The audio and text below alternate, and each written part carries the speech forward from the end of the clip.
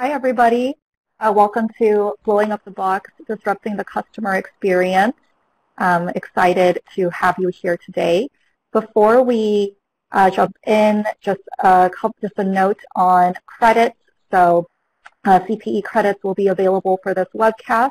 So if you'd like to receive the credits, please stay online for the entirety of the webcast, and you can click the link in the request pod in the bottom right corner uh, of the webcast console to sign up for credit. Um, and please make sure to click the three pop-ups that appear on the screen throughout the program as well. Thanks, Christina. Hi, everybody. Welcome to Blowing Up the Box. If you have showed up today to talk about disrupting the customer experience in your business, you are in the right place and let's get busy. I'm Gary Magenta. You've already met my colleague Christina Choi. She's going to be the co-host today. And first, if you just want to find your way to the chat box in the corner of your screen, you can all comment on my necklace that I chose to wear today and let me know if you think it's too big or if it's just right. These are, in fact, my headsets, and I look like Mickey Mouse with this bald head with those things on, so I'm keeping them around my neck. Welcome, everybody. I promise we're going to have an interactive and fun experience today, and I hope that you get a lot out of this.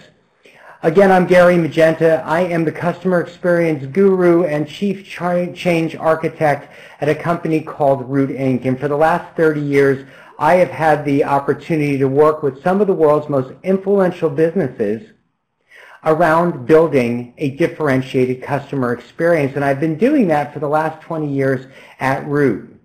Along the way, I've met a lot of really interesting organizations and taken some notes along the way that have turned out to be a few books. The latest book that I want to talk to you about today is Blowing Up the Box, Disrupting the Customer Experience. So let's unpack that and dig into that together. And before we do, I want Christina to have a chance to talk a little bit about what she does and some interesting fun facts about her life. Christina, hi. Hi, thanks, Gary. Hi, everyone. Uh, my name is Christina Choi. I'm a consultant at Root, uh, focused on sustainment of change for our clients.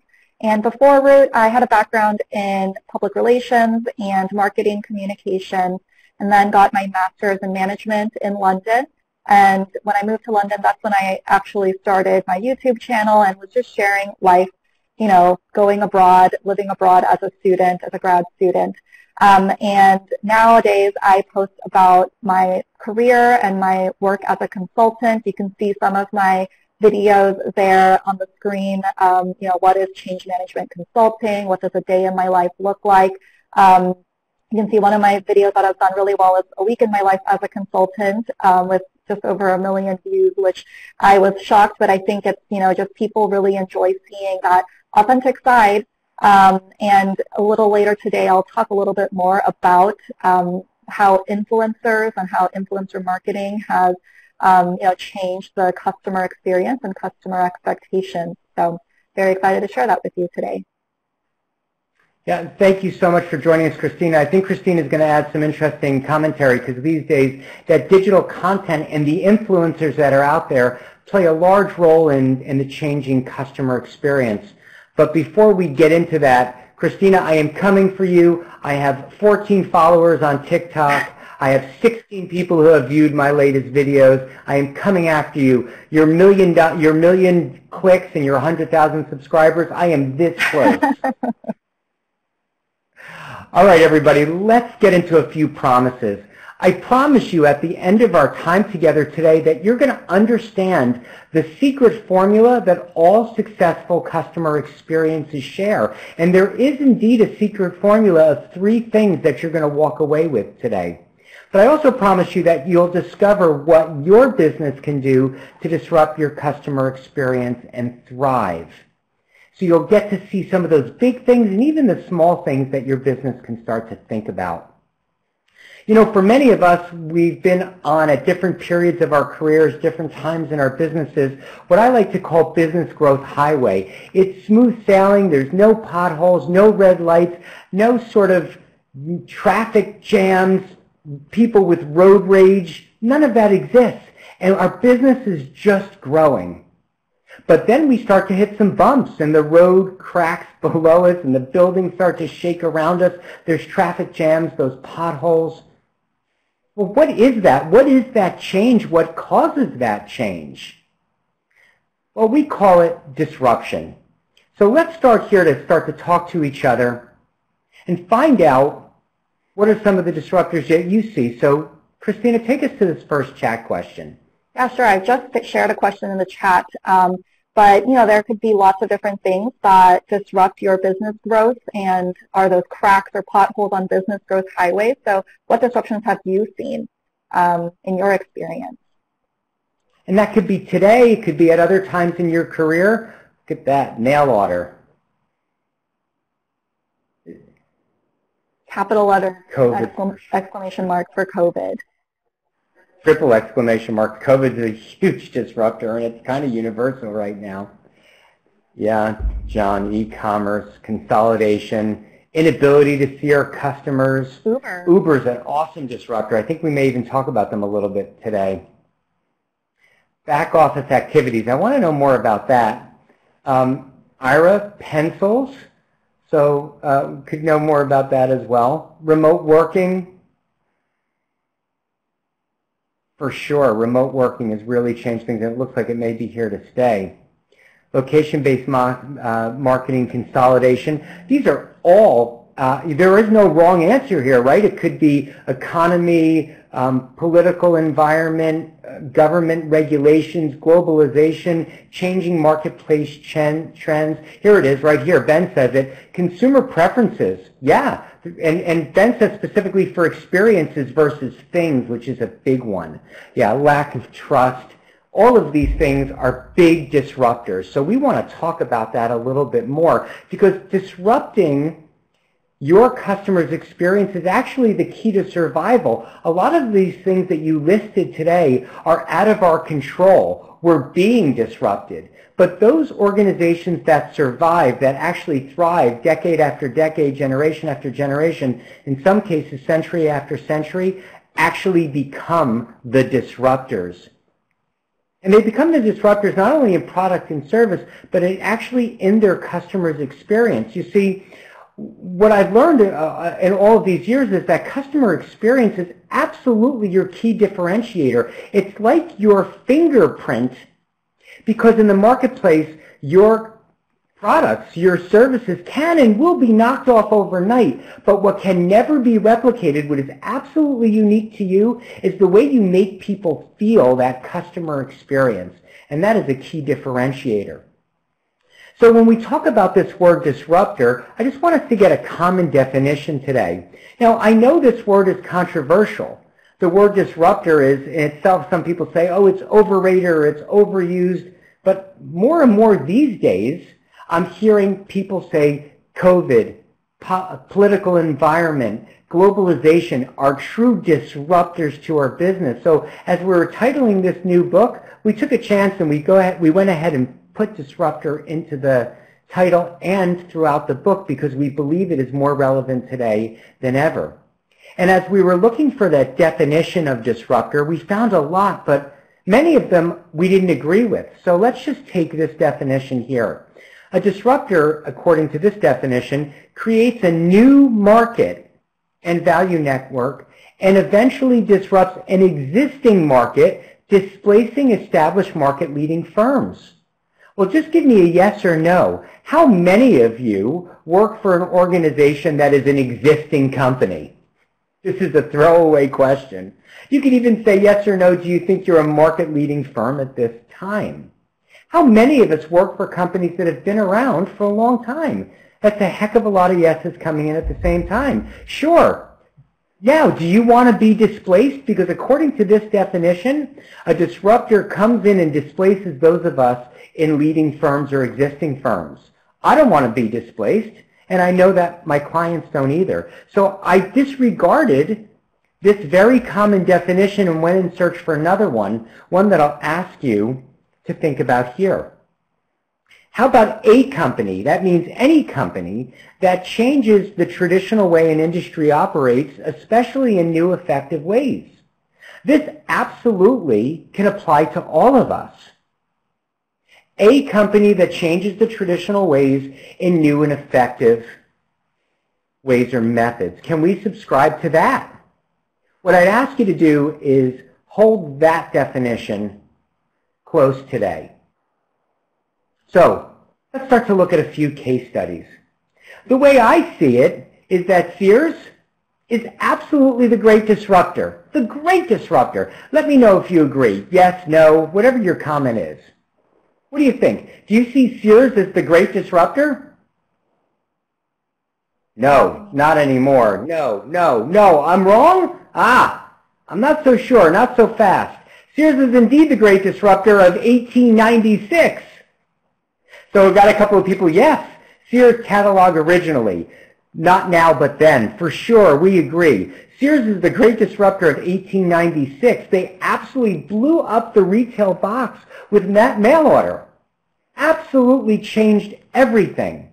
Back in 1896, Sears revolutionized consumerism in North America through the catalog. Yeah, a lot of you have caught on in, in chat right there with me. Let's just look at it. Go all the way back in your time machine. It's 1896. We're there. And Sears come out and says, let's put the largest assortment of stuff, products, available through a mail order catalog. And let's be the first to allow for returns and, and let's give a rewards program. Like the more stuff you buy from us, the more rewards you'll get. And guess what? Hold on to it. We're going to deliver this stuff right to your front door. This is really cool stuff. Well, come back, come back in time, come back into the future. It's now 1996, and it's Amazon, and they said, hey, wait a minute, what if we take the largest assortment of products available and put them in a catalog online? And what if we allow for returns with no questions asked? And a little bit later on, they said, how about we develop a Prime membership? The more stuff you buy, the more rewards you get from us. And catch it, wait, wait, wait for it. We're going to deliver this stuff to your house. Yeah, that's awesome, Amazon. They actually perfected Sears innovations. So my question always is, why isn't Sears the Amazon of today? It's very, very similar. Why isn't Sears Amazon today? And, and thank you, Adam. That's always a question I ask. What's the wackiest thing you could buy from Sears and they deliver to your house? That's another house. They would send you a prefab house. And we're talking 1896 stuff, right? And so Ben says success makes complacency. Sure as heck did. Absolutely. So let's dig into that, Ben. Why is it that Sears is on the edge of extinction. Well, we did the research on that for this book, Blowing Up the Box. But before we give away the secret, Christina. Yeah, so um, Ben uh, started talking about this, success makes complacency. What are some other reasons that Sears is now on the edge of extinction today? Just chat that to us, please. Why do you think Sears is on the edge of extinction today? Leadership. What are they saying? Terrible leadership and did not modernize with the times. Lack of innovation, lost touch with customers, um, a lot of stuff about customers, not moving with them, not staying in touch with them or changing with them, and not continuing to innovate and evolve. Yeah, for sure. Even down to culture. All of these things are obviously right. And we found some very specifics. Too stodgy, yeah we found some very specific um, items here that we want to share with you. One was there was an absolute denial, a refusal to admit the need to change, and that was that complacency that Ben uh, said right up front. We are sort of fat and happy, and we don't have to change. The world should comply with what we want and what we want to sell and do. And there was also what we found was what they called insularity. Leaders who are unwilling to hear bad news. So if the leaders were on the 50th floor, the saying at Sears was, bad news doesn't make it past floor 49. Didn't have the ears for it. We're good. We're going to ride this out. And then, of course, the third thing that we found was paralysis. And that is they didn't jump on any of the bandwagons when they saw internet, when we saw the reduction of bricks and mortar, when they saw the changing consumer trends, the, the evolving generations of consumers, the buying trends, what did they do? They went out and they partnered up with Kmart, which was more of the dying same breed. So denial, insularity, and absolute paralysis were the three things that we saw that brought Sears to extinction. And I just have to say, what a sight it is to see the rise of Amazon right in front of us in all of our lifetime when their model is so similar to Sears and we see Sears literally just barely hanging on by a thread. It's just a shame. Yeah, and Gary, what this example shows is that the pace of change has never been this fast. And what we can learn from Sears is that you really do need to keep up with the marketplace. So we're going to fast forward. Yeah, you can change the slide. Thanks, Gary.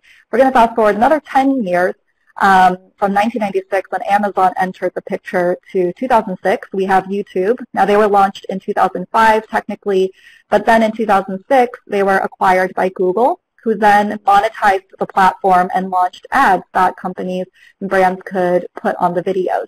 And what that ended up doing was that it allowed the content creators on YouTube to earn revenue on their videos because they would then develop a direct connection with their audience. And that opened the door for them to partner with brands directly and feature products, products that are relevant to their own channel and their own audience.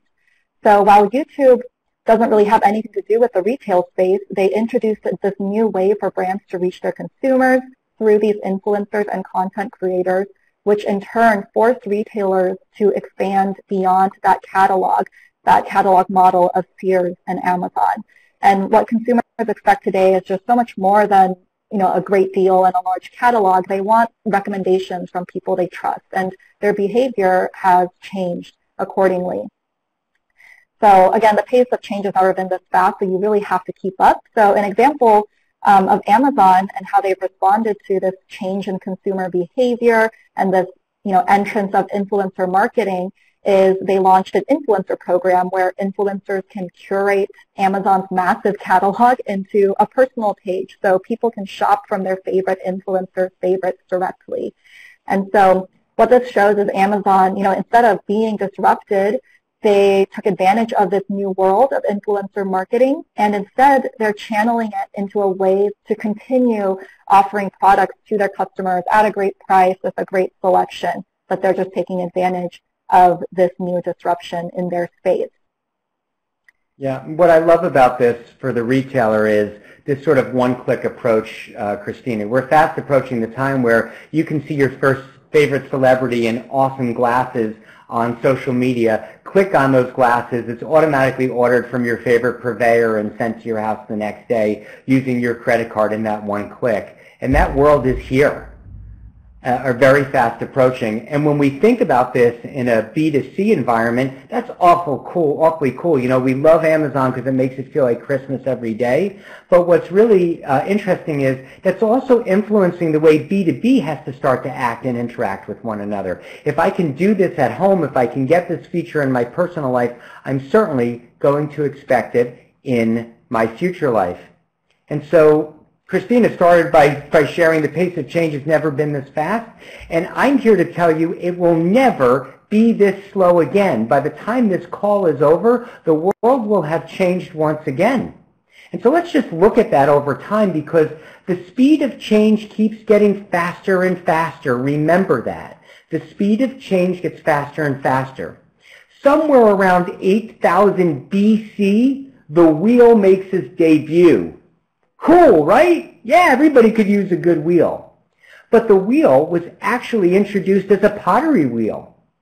And it was that way for many, many years. In fact, the length of time that passed between the pottery wheel and the wheel and its use in transportation was thousands of years. And then if you look at the leap from that wheel in those early chariots to the car was actually much faster. And from the car to the airplane took even less time. And from the airplane to the wheels that rolled out the first rocket ship was even a shorter time. So it went from non-transportation to transportation to wheel out a piece of transportation that had no wheel at all. But if you just look at that timeline, oh my goodness, it gets faster and faster and faster. And so we have to think about what are the three keys that we can do to disrupt before our world is disrupted if we want to keep up with this ever-increasing speed of change. So I promised you these three secrets, and here they are. We will dig into each one of them in detail. You will be able to get the slides, so let me just share the first one. You must be, as an organization and as an individual in that organization, purpose obsessed we find that one of the most important ingredients is that your culture is one of entrepreneurialism or that you have established, adopted, and actually brought to life an entrepreneurial culture. And finally, that out of this you create a unique customer experience, one that sets you apart from your competition, and that it's not just about the product and service, but it's also about the experience itself. So let's dig into these. Purpose. You must ask yourself every single day, what is our purpose? Why do we exist? Why are we here? Why do we get up every day? And what are we willing to give up, throw away to remain true to it? In other words, what are some of the things that we're comfortable with that we could say no to today in order to continue to deliver our purpose? And so thinking as we reflect on that, um, I've just posted another question in the chat. What is your purpose statement? Um, do you have one? Do you know it? Um, and if not, what do you think your purpose is? It's okay to say I don't know or I don't remember or I'm not sure if we have one. We got lots of people ready to, we don't have one. We do have one to enrich people's lives and make the world a better place. Nobody doesn't love that. Mm-hmm. Eliminate cash. Don't have one. We keep, keep your food fresh. We provide power and water. I want to go to work for Christie's company to enrich people's lives and make the world a better place. Sure. So some of you have them, some of you don't have them. Some of them feel a little bit more like what you deliver versus purpose, but that's a little judgmental. So one person here says our purpose is to stay cash positive. I would just say our front lines in our business don't see that as a purpose. They see that as a, a goal. And so there's some of these here that I will just push back um, based on my experience and say some of what you're calling a purpose statement seems like goals or activities. And for those of you who don't have one, you'll see a little bit more about what one is and isn't. And for those of you who do have one, um, you can just sort of use our conversation to filter how um, effective you think yours is. But it's critical to this process. Let's dig into the next. Does your company culture allow for every person from leaders to the front line and everybody in between share their ideas because that's how I'm defining an entrepreneurial culture. Does everyone from corporate lead in the, uh, in the executive suite to the front line have a voice? Oh, we've got a lot of yeses. A lot of yeses. Yeah, that's fantastic. Keep, keep talking to us. Sadly, no. Unfortunately, no. Ish, says Carl, but he said partially. Ish. Um, yes. So all over the board. Yes, kind of. These are all the typical answers. Some of you feel really strongly yes. Some of you absolutely not. And some of you are in the ish category. That's true. And I bet you if you asked others in your organization, you may see sort of a spectrum there. Well, this is absolutely key. For those of you who have it, congratulations. The question is, do you have all three? It's great to have one of these. Do you have all three?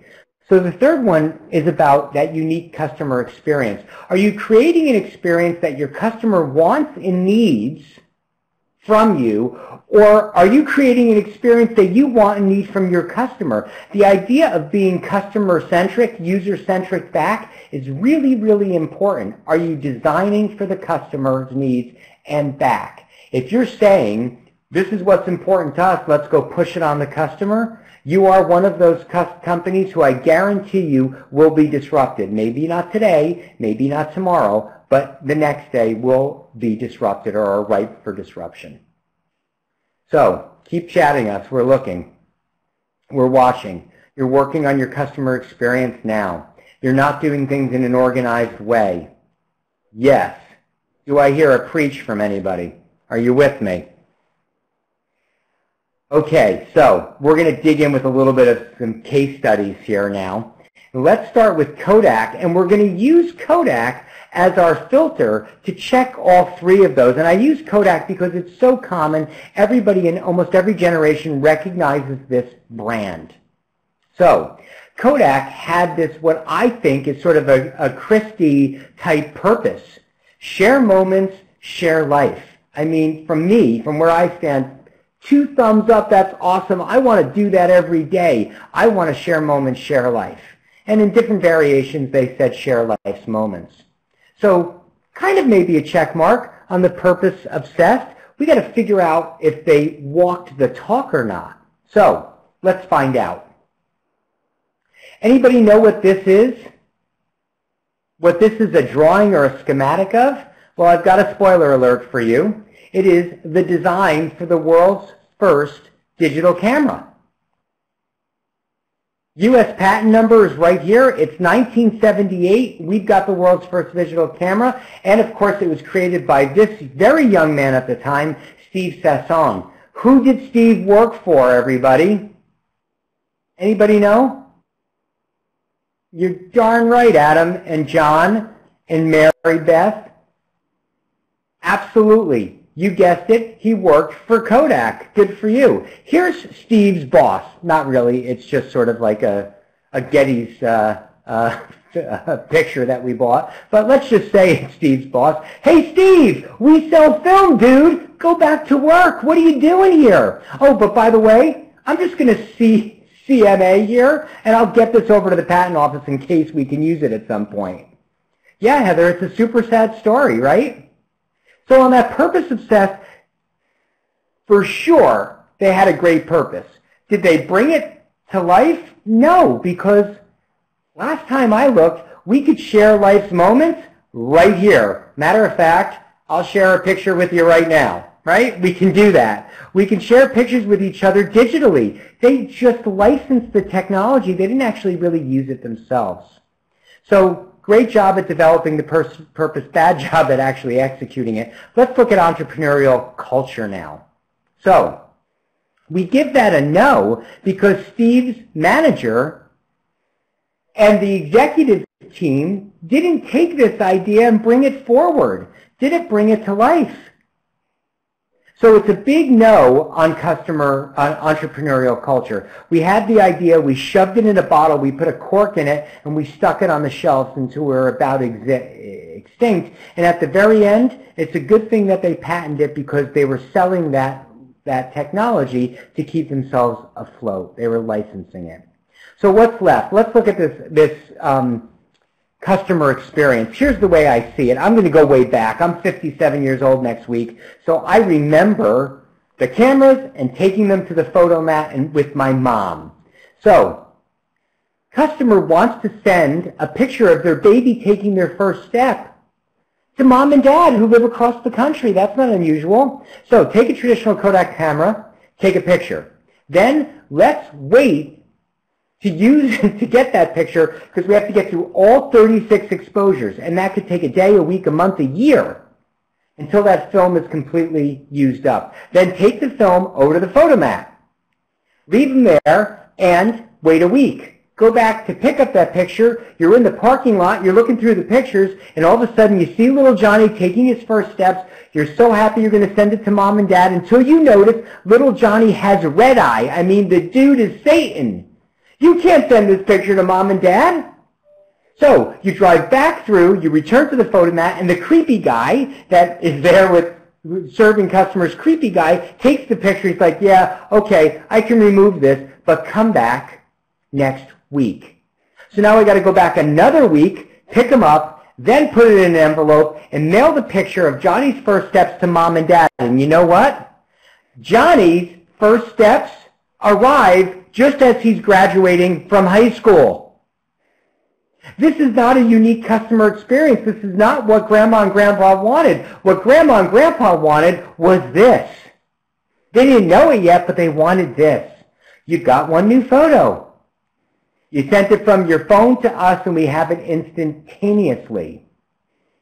So, when Kodak was thinking about digital, they weren't thinking big enough. And my question to you, and it's, it's kind of rhetorical, my question to you today is if, we think about why isn't Sears Amazon, why isn't Kodak the iPhone? Why isn't Kodak Apple? I mean, if the phone became the camera, why couldn't the camera have become the phone? It's not beyond the, the, the realm of, of what's reasonable or rational to ask. So, did they deliver a unique customer experience? Hell to the no, Christina. What do you say? I agree. And um, this is, I just posted another question in the chat. So Gary quickly walked us through those three ingredients, purpose-obsessed, entrepreneurial culture, and unique customer experience. Uh, so as you reflect, where are you the strongest? Where are you the weakest or most challenged? And you can use abbreviations um, if you don't want to type out um, two or three. Mm-hmm or you could say, you know, one and three if that's where you're strongest and then weakest. So, so yes, I think Daniel. the weakest, how would you rank yourself? So Adam says purpose obsessed as the strongest and unique customer experience as the weakest. And another strongest for purpose obsessed from Barbara. Barbara and Adam, uh, maybe we need a support group. entrepreneurial culture is strongest here. Strongest is unique customer experience. Good for you. Uh, one and two are strong. Three is the weakest. Most challenge on the customer experience, strongest on purpose. I, I, that's sort of thematic here right now. A lot of you have these great purposes, but we're not getting to that unique customer experience. From it, we got a strong culture, but we need a purpose culture strong, not sure if it's entrepreneurial. So um, again, we're seeing well, many of you are from different client organizations, so you'll have different answers. I'm curious if you ask this question internally, if you'd even get answers internally. I was on with a world, um, uh, a pretty dominant uh, uh, global automotive company yesterday doing this, this conversation with them exclusively, and they disagreed with each other even on where they were. So key takeaway here is you have to have all three and you have to execute all three. It's not enough to be purpose obsessed but not deliver a unique customer experience. It's not enough to have an entrepreneurial culture but not focused on our purpose, etc. So, what I, I love Christie's, uh, we have a, a customer experience that's unique but it's not cutting edge. Man, we got to always keep sharpening that knife, so let's talk about how to do that. In the end, Kodak was too focused on selling film and not on what their customers wanted and needed. You remember I asked you the question, are you focused on what you want your customer to buy or what your customer wants to buy from you? In Kodak's case, they were too focused on selling film and not on their purpose and what the customer wanted. But what's really interesting is those Fotomats from the 60s that I remember driving through uh, with my mom, they're still around, but they've evolved, they've adjusted, they're still in business because they're selling coffee that little piece of real estate had survived, and guess what? The creepy guy still has a good job because he figured out how to go from film to making coffee.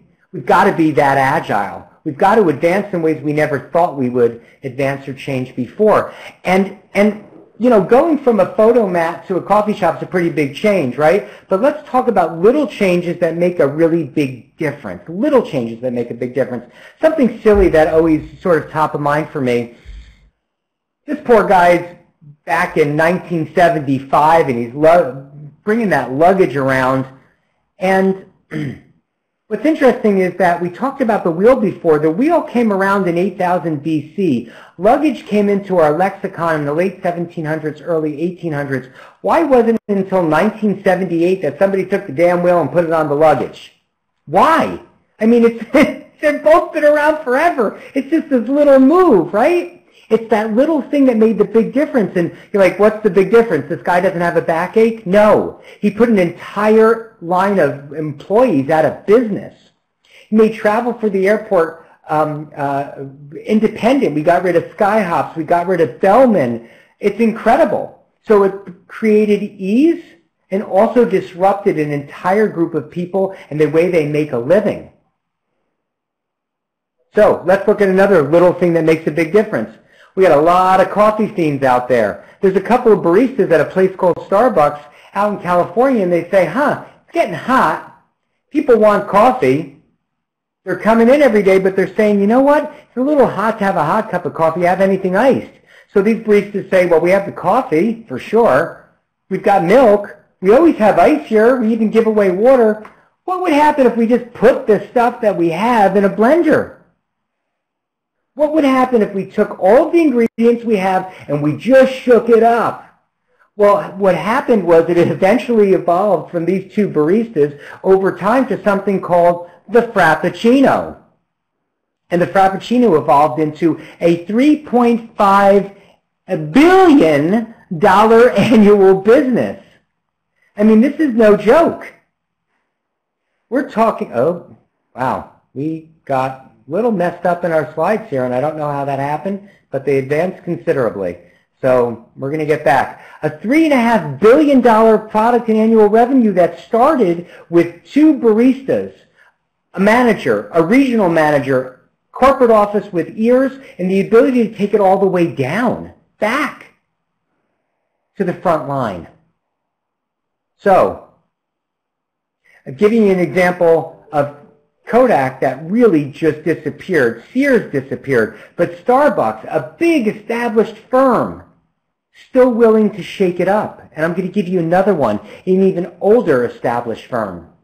Even littler things can make a big difference. I'm going to talk about our friends at McDonald's.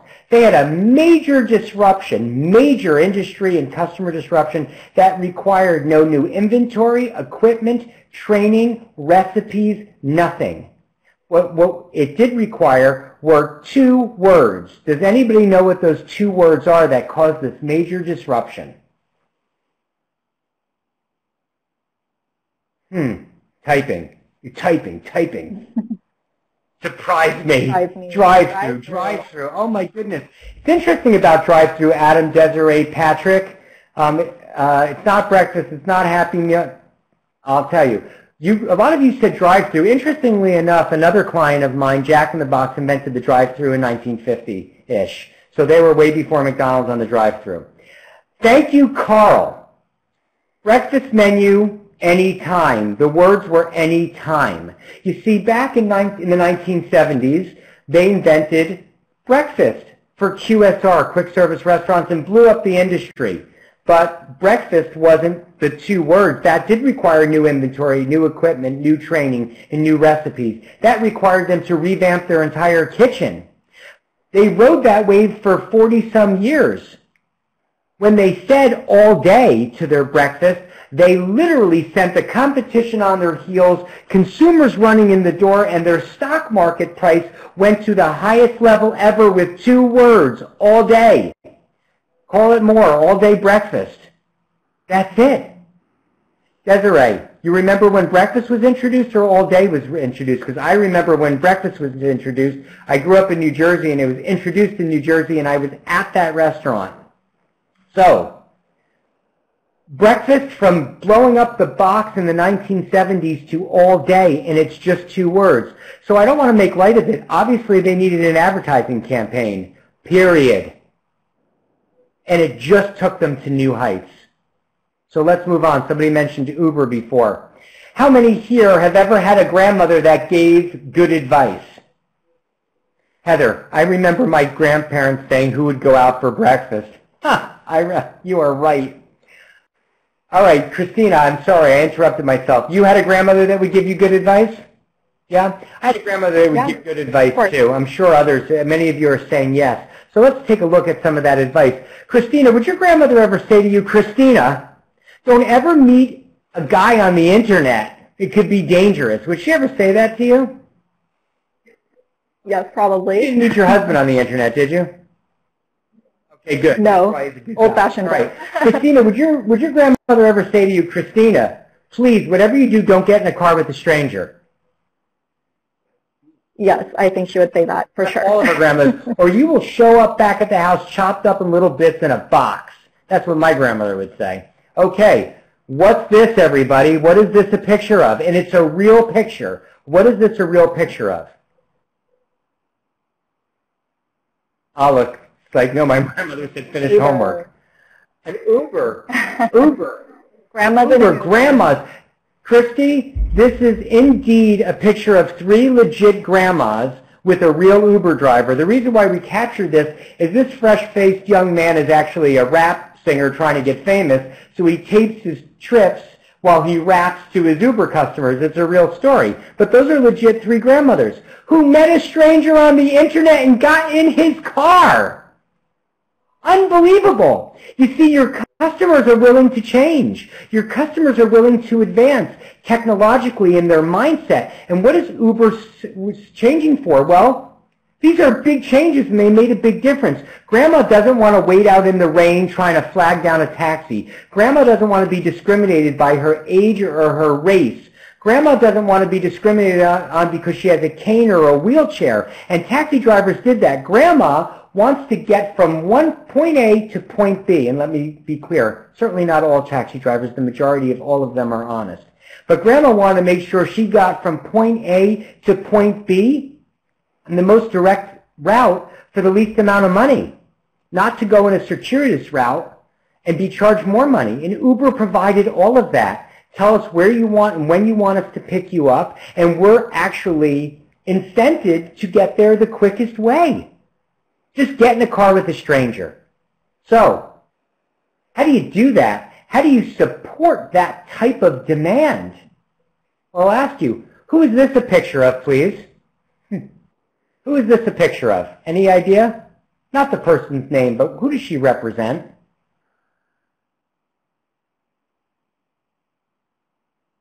Yes. Uber driver. Mauricio, um, an Uber driver. But who is the Uber driver herself. Uber driver has a second job, Heather, for sure, and it's actually grandma. There you go, Desiree. It is in fact grandma as the Uber driver. So grandma is now the stranger being met on the internet and driving the car away. And I have got a hundred stories of grandmas that have driven me in Uber. I don't have a car. I live in a major city, and I am an Uber um, passenger, and I've got all kinds of Uber stories. I'm going to give you one very quickly. I met a grandma Uber driver who worked five days a week. Each one of those days, she took her takings for the day and sent them to one of her five grandchildren who are at five different universities. And she sent them spending money. You want to talk about purpose?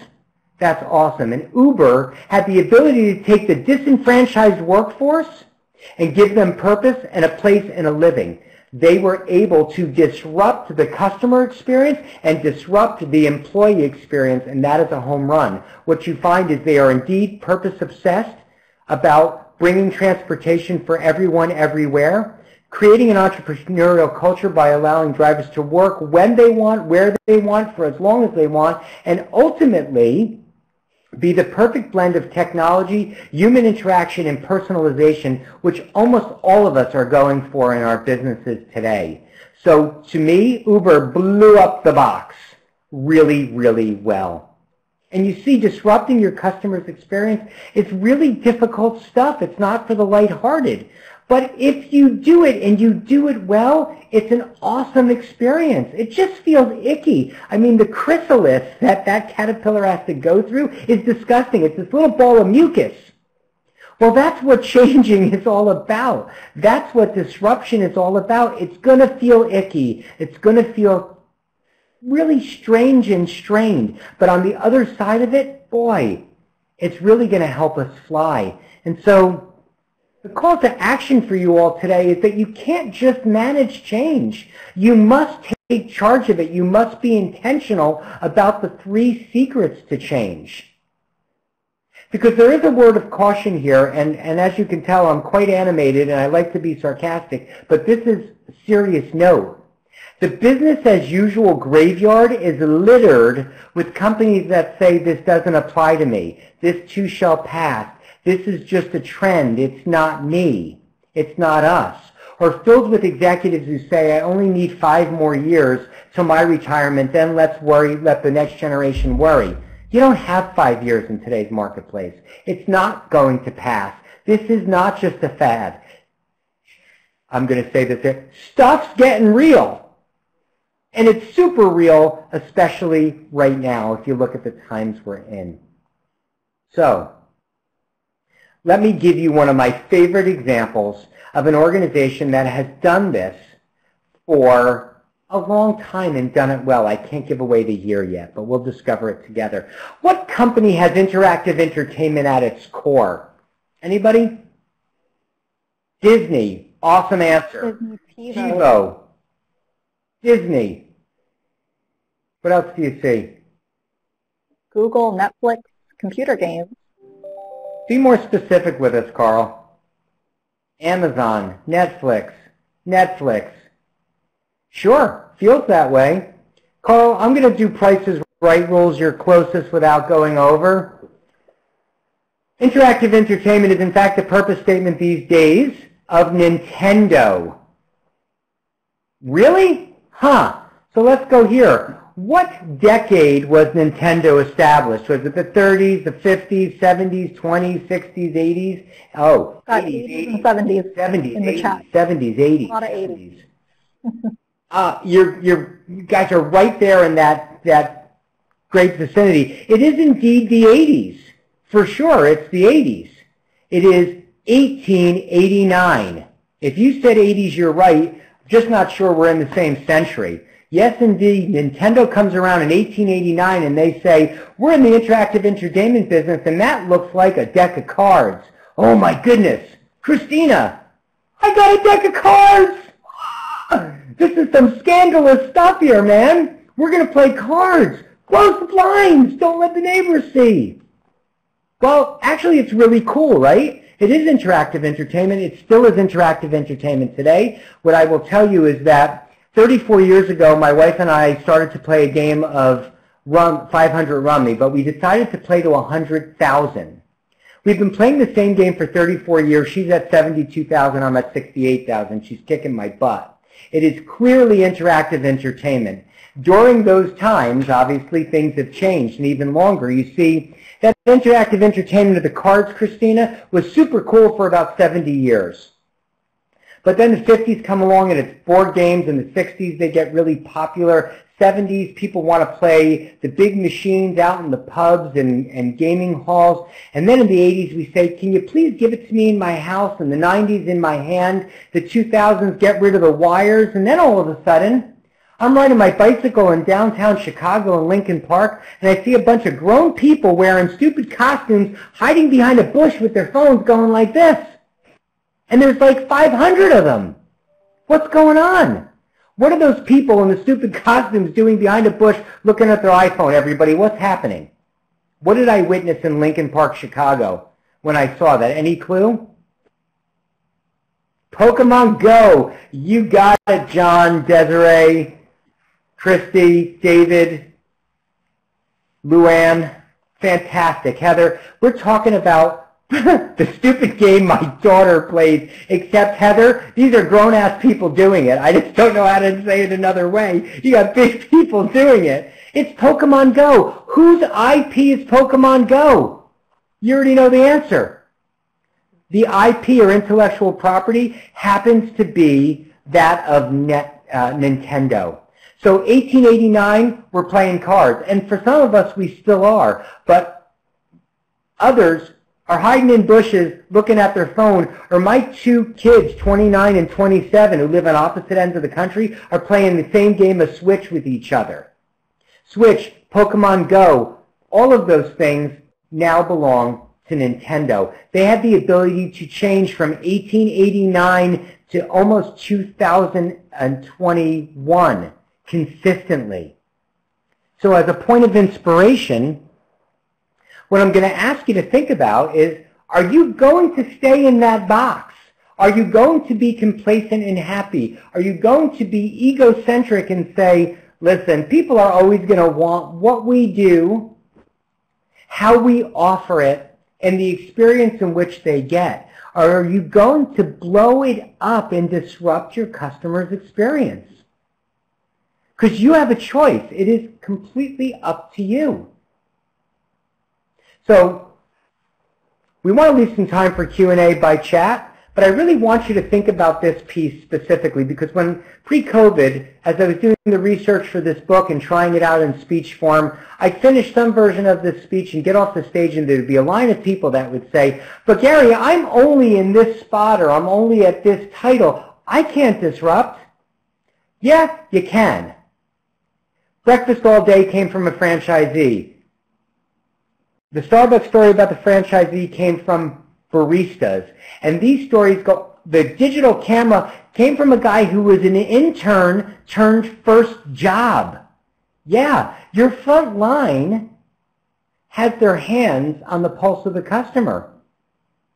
And you may too. So I want to give you a new title as you think about this. As you think about, can you really influence? Yes, you can from where you sit.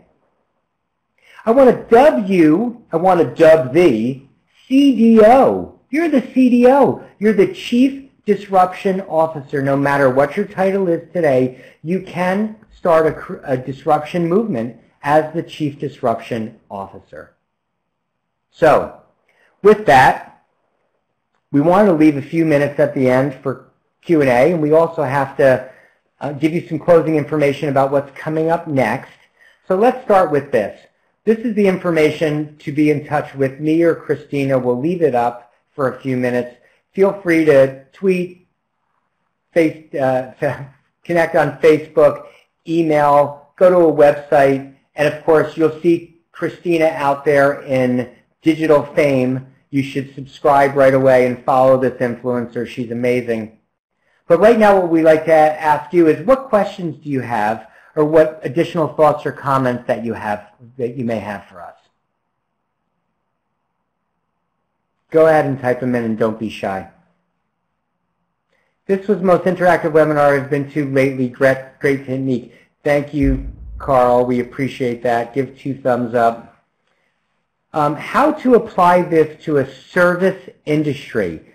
Um, yeah, thank you for agreeing with that. Um, thoughts on service, because that, I think um, you really get that in that area as well, Christina. You have some thoughts on that? To a service industry versus products that, you know, McDonald's and Starbucks are offering. Um, I mean, I think that it really is a formula that can apply whether it's a product or a service. I think if I think about the clients that I'm working with, um, you know, anybody on our team can get a pulse of what clients want and what experience um, and unique experience they want to have. Um, we, of course, have a purpose at Root. It's to invigorate the power of human beings to make a difference, um, and we use that, you know, every day as we do our work. Uh, so, you know, other than just really just thinking about what is it that differentiates you, like having that purpose statement and going through those three um, steps of the formula, I think um, it always resonates with me and is something that I think about um, regularly as I think about my interactions with our clients. Christina, what you're describing to me, if I can put it into the word, um, uh, is empowerment. When you're in a service industry, you're oftentimes um, have people who are interacting, who are delivering that service. So for us in, in consulting services, um, we're always looking at how do we empower our people, and I know this for other organizations, with a few things. In the service industry, you have to empower your people to ask great questions, to understand the needs of the client so they can adjust in the moment, and that empowerment allows you, allows your people to deliver what the customer needs and wants as long as it aligns with our purpose without having to go back and make a thousand um, check-ins on that. Uh, what tips do you have to anticipate customers' wants and needs before others? Go to your front line, Christy. Services or products. Go to your front line and ask them. Sit in those conversations because if they don't, even if they don't know it, their customer is expressing new needs and wants in every phone call, email, and interaction they have. When you hear it once, it's interesting. When you hear it twice, your Scooby ear perks up. When you hear it three times, it may be a trend. Um, mindset, uh, sorry, how do you make one as a dis, how do you make one as disruptor as this word itself isn't positive sounding via training and guidance. Oh, how do you make one a disruptor, a person a disruptor? I don't know. You know, I'm, I still struggle with this word, even though it's in the title of, a, of one of my books. Um, I think disruptor can be very empowering. You have the ability to disrupt this, but disruption for good. If things are stuck and broken and not working, shake it up. So innovator is the word that I use when disruptor doesn't work. Allow your people to be innovators. Allow them to shake it up. So how do you do it? Empower somebody or dub them as an innovator. I've hijacked the chat a little bit with my marriage announcement, Gary. oh, were you going to announce that right yeah, here? Some, someone had noted that my name is different on LinkedIn, so I was just sharing uh, why that was so. So. okay, so let's do it right here. When did you get married, Christina? I actually got married um, August 1st. Our wedding was supposed to be October 3rd, but we, you know, were disrupted by COVID, and so we canceled and did an intimate, you know, immediate family ceremony instead. So congratulations, and you did it in your parents' backyard, and you said it was lovely, and you're one of two Root family members who got married in their parents' backyard this summer. Good for you. Christina, before we go, I want to see if we can get to Ben. Mm-hmm. Secret to break the things that make us successful. I'm not sure I understand that. Um, so Ben, if you can offer more clarity, I'll get to Michael's comment. Actually, disruption is the current word in process for Joseph um, uh, Schumpeter's creative dis, uh, destruction thesis. Thank you. Um, I would say disrupt gets people's attention and make it whatever you need it to be. Um, from here, I want to thank you so much for your time and attention because I know our friends at the conference board have some more information they want to make sure they get to you. So with that, I'm going to give you a huge thank you so much. We really enjoyed you being here. Your participation was awesome, and I want to hand it over to our partners at the conference board to talk about the upcoming West, uh, webcast programming. Um, send us your thoughts, letters, comments, Thank you, Patrice. We enjoyed having you as well. Conference board? Thank you so much, Gary. That was fantastic. If you all enjoyed today's program, we have more upcoming webcasts that may be of interest to you. Click the links in the downloadable presentation to register for the following programs or visit conference-board.org to see a full list of upcoming programming. In addition, our Human Capital Insights podcast series is a great resource for talent executives wishing to address challenges and stay informed about current issues across the entire spectrum of human capital. You can register for those at conference-board.org slash podcasts. And finally, if you're interested in collaborating with the Conference Board to produce another great program like what you saw here today, please reach out to us. You can discuss webcast sponsorship opportunities by contacting sponsorship at conference-board.org. Thanks again for joining us. Thank you, Christina and Gary. Everyone. You're awesome. Thank you. Thank Thanks. Conference Board.